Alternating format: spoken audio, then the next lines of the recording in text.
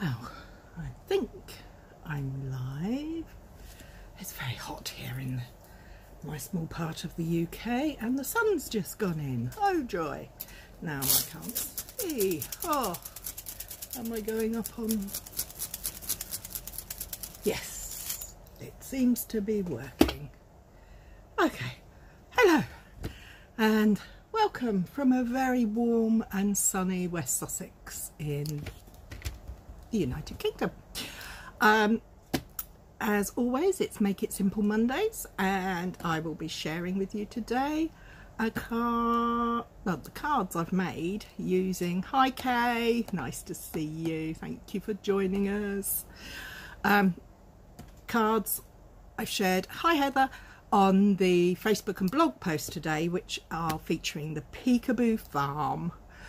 Hey Jill, which also includes the I beg your pardon, I've lost my train of thought now. Ha! What a surprise in this heat. My brain is just a mush. It's just too hot for me. So, anyway, where were we? Oh yeah, right back to the card, the cards I made this morning. This week I'm going to be featuring Peekaboo Farm, which is a cute stamp set featuring farm animals. And the nice thing for me about it is they're open line images so that you can um, colour them in.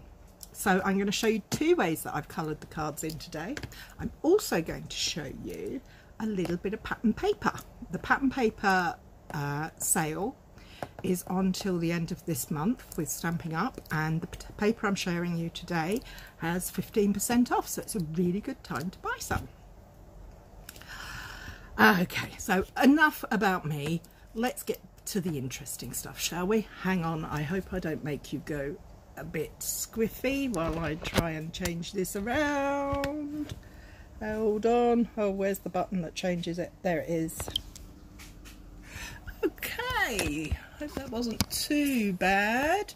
Let's pull this down a little bit so you can see what I've got in the centre of my screen, hopefully. Let me just wait for... There's a time delay between what I'm doing and what comes up on Facebook, so I have to be a bit mindful of that. Okay, so the um, stamp set, as you can see, is absolutely the cutest thing going. It's also a photopolymer stamp set. Oh, the brick wall's just fallen out because I've been playing with it a lot. So it's really easy to line up, which is great. The cards I'm sharing this morning are these two. Now,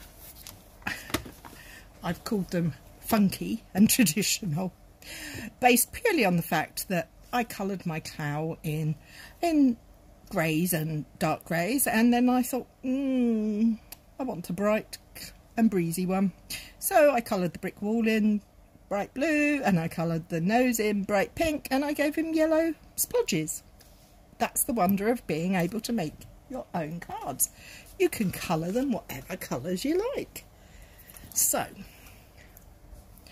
but do you notice these in the background these are pattern papers and oh my, are they gorgeous. Push that to one side. Now this is called the hand-penned pattern papers and as you can see one side is very floral lots of pretty flowers gorgeous shades with lots of green very realistic but beautifully drawn if you look further back on the timeline of our Facebook page, you'll see that I shared a little video of these papers being painted and drawn by the art designer at Stampin' Up Home Office. It's really interesting when you see how things are made, I think. Oh, where are we going? We should have six papers. One, two, three, four, five, six. You get 12 by 12 pieces. These obviously are not 12 by 12 pieces uh, because they would be far too big to hold on the screen. But the nice thing is these are quite busy when you and if you're new to stamping and card making they can be a bit intimidating but if you turn them over you have these gorgeous gentle, soft, more, they're not entirely geometric. Well, those, there's dots on the top and stripes. Stripes and dots are my favourites. Um, but we have them in beautiful soft greens and yellow and a darker green pink, lilac purple and peach, which I think are really pretty. So I'm going to use these. And what I'm going to do is put the paper to one side and I'm going to first of all start off by cutting my card bases so I'm going to get myself a piece of A4 cardstock and my paper trimmer now I like to do what I call tent fold cards which is whereby you put your piece of paper in the trimmer portrait so the long side going down the trimmer I then take it across to the 10 and a half centimetre mark and I cut and I have two equal pieces. I then pop them back in, lift the arm up,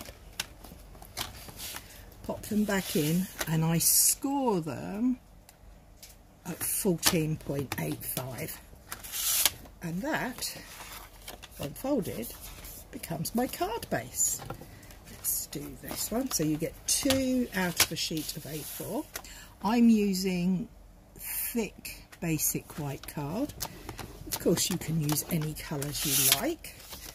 I, I just happen to like white and I think white goes with most things. So that's all the cutting I'm going to do for today. I have done a bit of pre-prepping for this and I have made myself some I cut myself a set of mats that are, oh let's check, uh, 7 by 9 centimetres and they're the panels that I'm going to stamp on. And as you can see from here, I've already cut and stamped four brick walls and sentiments. They're all the same uh, but what I wanted, what I really wanted to do was to introduce you to the characters that are in this set and show you how they line up on the brick walls. Now there is, uh, I don't know if you noticed, there is one here that is slightly taller and that's for the llama because he's a little bit taller than everybody else so he needed a bit more space so we'll do him first. So I put my stamp down on the table so that it can relax. Being photopolymer, they can get a little bent out of shape, so if you just pop them onto your stamping surface and position your block on top, it'll be fine. I'm using Memento because I'm going to use some alcohol markers, our stamping blends from Stampin' Up. And I'm hoping you can see this. You can see that I've inked him up. Can you see these two little dips in the brick wall? They are where the hooves go. So I'm going to, this might not be perfect because I'm not sitting directly over, but I'm going to push him down, count one, two, three, and voila! My lovely little llama is poking his head over the brick wall. So, next up, shall we do Mr. Ram? So again, we put pop him down, flat side up, let him rest, pop him on the block, get our ink pad out, tap, tap, tap, nice gentle tapping, and again we're going to line him up. I use my grid paper to get make sure things are straight but I'm going to line up here for his hooves. One two three and there we have Mr. Ram coming up next we have oh there we go another piece of paper we're going to have our horse. pony, horse. I don't know quite what the difference is, but I'm sure someone will tell me. There we go. And again, we're just going to line him up so his hooves are in spaces. Press gently, count to three. One, two, three. And he's popped into the... His hooves are popped in nice and neatly. And you've already met the cows. And the last I'm saving for last is my favourite. It is the Piggly Wig. Years ago on a telly programme, there was a TV programme called Extreme Shoppers. Oh, Extreme Couponing, I beg your pardon. And it was in America. And they went to all across America, but one of the shops, supermarkets they went in was called Piggly Wiggly's. And I've loved the name of it ever since. I've always wanted to go in a Piggly Wiggly. How silly is that? But hey, small things and all that jazz. One, two, three. And there we have him. So, now we get to colour. I'm going to show you two ways to colour in. Um, I'm going to leave Mr Piggy for last. I'm going to go for my horse, Dobbin. I'm going to use my watercolour pencils. Now, my watercolour pencils are quite elderly, but they still work beautifully. And I really like to use them for colouring in because they are soft and gentle. But I like a smooth finish, so in comes this little beauty. It's called a stampin' let me just double check. They're called blender pens. They come in a pack of three. They're all double tipped, but you only need one tip. But my tip will come for using that in a moment. So let's get rid of that so I can actually see what I'm doing. So we are going to find all the pencils have colours on the ends. So I find it easier to, to just look for the colour rather than read the words. So I'm going to have a nice grey pony and I don't want it to be too dark so I'm going to just colour it in very gently, very lightly. That's the nice thing about watercolour pencils. The colour, it's the pressure you put on is what gives you the colour. Now, as you can see, that I did that very swiftly. Now, this is where the magic happens with my little blender pen. I'm going to check it's clean. It has a nib on the same on both ends and it contains a blending fluid that means when you colour over your colour pencils can you see how it's all streaky here well when I've gone over it with my blender pen it loses that streaky look which I think is rather nice. Now I want to apply some colour directly in a small space. So what I can use is get the tip of the pencil and just apply the colour to the tip of my pen and it becomes almost like a felt tip. But as you can see it has that I've made it deeper than the one before. I'm going to colour in here so I have a nice grey pony with a white nose but I want him to have a much darker forelock. Is that what they call them? I, I don't know. Fringe. So what I'm going to do is I'm going to colour that in with my black pencil. Like that. and then I'm going to take my pen and smooth out the colour.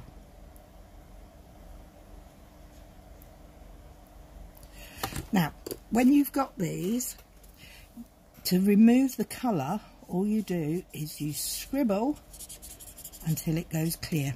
And then your colour has been applied. Now, what colour am I going to do my brick wall? Hmm, I think I'm going to go for brown. Shall I go brown? Yeah, why not? So for this one, I'm actually just going to colour in around the the stonework. I'm going to give him a little bit of an edge there. Now, again, I am going to be using my blender pen. I, it gets very confusing, doesn't it? They're called blender pens. And we have blends, which are alcohol markers, but you mustn't confuse the two. They are very different, different things. And they both have their place, as you'll see in a second, because I like to play with both. But I'm just going to colour around here. How you all doing? It's very warm here. I think I'm melting. And I've got to take my son up the gym in a little while. So he's having his induction. Whew, I wouldn't fancy having to do a workout in this. I know some of you dedicated people do. But uh, mm, it's not my idea of fun. I just fancy going and putting my feet in the paddling pool that we got up for the grandson yesterday. So here we go. We're just going to smooth out these lines with the pen the blender pen and what we may do as the colours being picked up I may just go in and give some of these pen these stones a little touch of colour. So I'm picking up the colour from around the stones and I'm just going to add a touch of colour to the inside of some of the rocks. Uh, I can't think what is it called. Dry stone, dry, dry stone wall, wall, walling. Oh yes. I see Heather's just come in from the garden. The lucky girl. Hope it wasn't too hot for you. There we go. So we have now got uh, as you see I've just cleared the colour off because I've just realised I haven't coloured in my horse's hooves. So we're going to use some black for his hooves.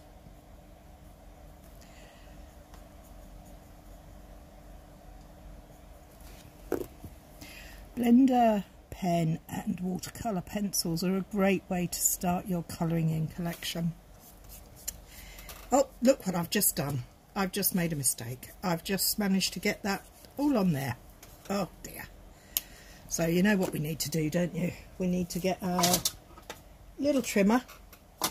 Oh, there we go. Oh, Hang on. Where is she? There she is. Let's get this little trimmer out. And we will just chop that piece off. Because I can. Because it doesn't really matter. It's a focal point. It's not the entire piece. Okay. So we have done our horse. We're now going to go on to our blender pens. Now I've got a very small selection of blender blends here. I am using light and dark petal pink, light and dark smoky slate and light soft suede. And the reason for this is because Sheep are white, so I'm just going to put a touch of colour inside his ears. And I'm going to give him some little soft pink cheeks. He's going to need a light grey for his hooves.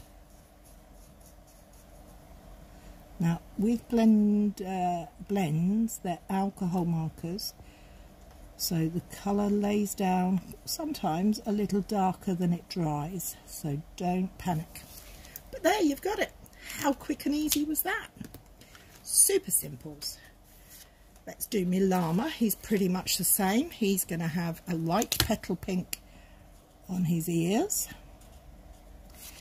and a little cheeky rosy cheek and some light smoky slate hooves. I keep wanting to say paws but they're not paws at all.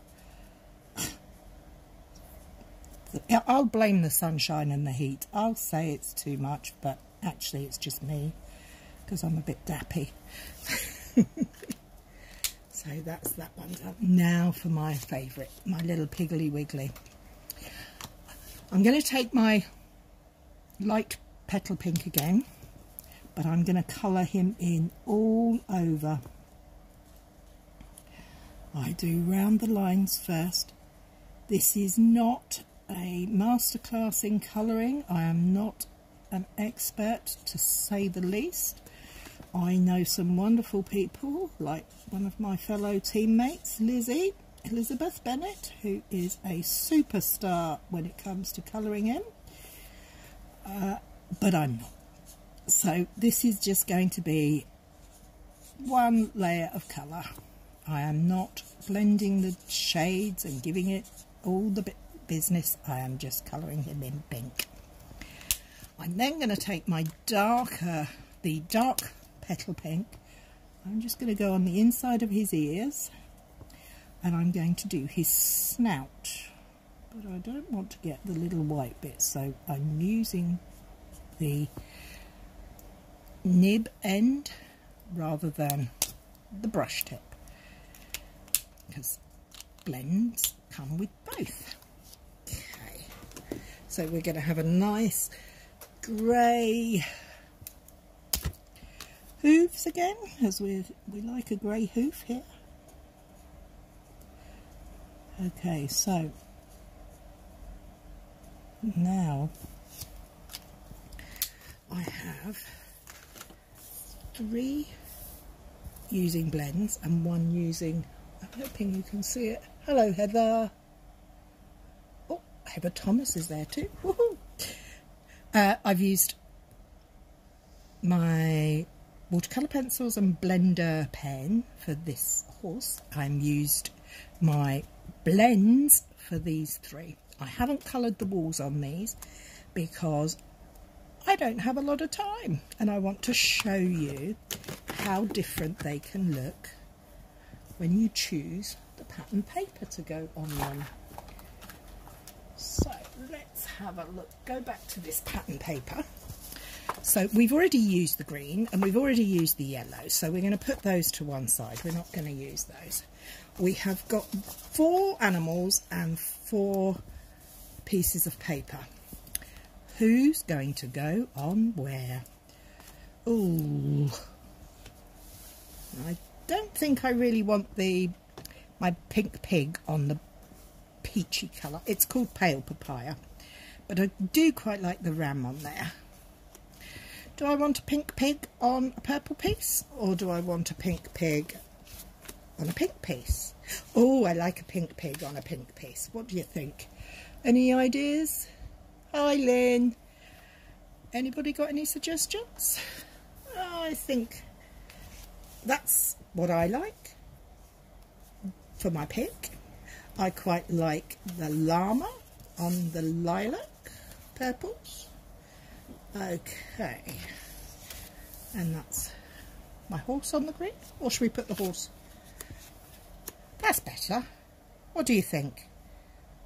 Well, you give you a minute to send me a message to tell me what you think. I'm going to stick my pattern paper onto my pre-made card bases.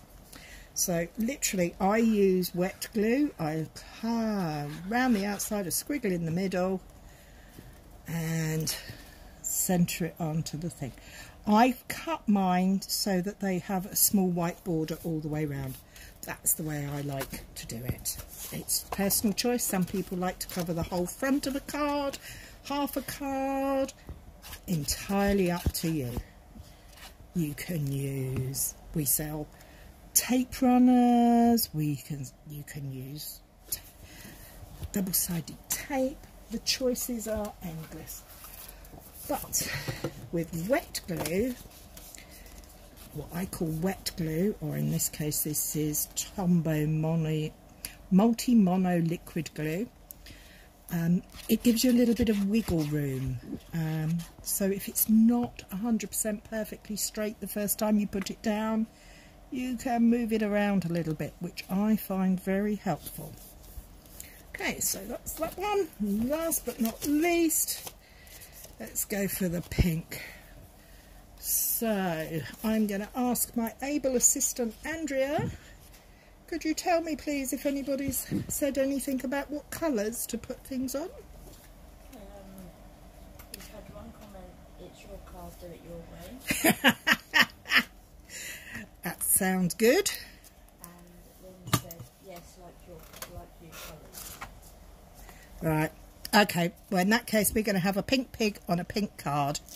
So I'm going to just pop some 3D foam or dimensionals as we they're called in Stampin' Up lingo on the back. Peel them off. Oh, they come off nice and easily. That's one of the things that I like about these very much. And place him, well let's use the grid paper to line up the card base so that we know we're getting it straight and then we're just going to pop him centre. So there's our pig. Um, I can't remember which way around we said we were doing them now. Are we going to put? Yeah, we're going to put the horse on the green. I have just decided. So Dobbin is going on the green base because he lives in a green field, of course. So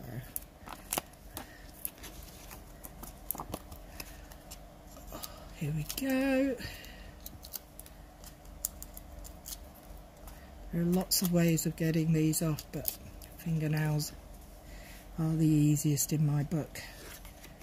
There we are. There's Dobbin. And now we're going to have Llama Llama, Llama Drama.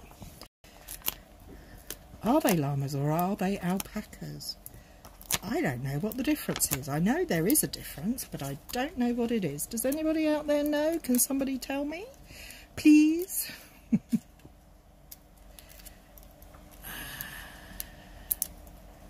there we go. I do like this uh, purple. It's got, it's faded in areas, which makes it really, really beautiful in my opinion it, it's gorgeous. Okay, now, oh, the dreaded 3D foam backings that get everywhere. Oh, I've had them on the stairs, I've had them in the bed, I've had them in my bra. I don't know how, but I managed to get them everywhere. It's just not fair. But, here we go. So I hope you've all got a nice simple dinner cooked and nobody to cook and nobody has to stand over a hot stove for too long this evening. It is certainly salad weather where I am. So after my trip to the gym, that's what I shall be creating for dinner. Okay, so let's get that out of the way. So, may I introduce to you, please, the members of the farm.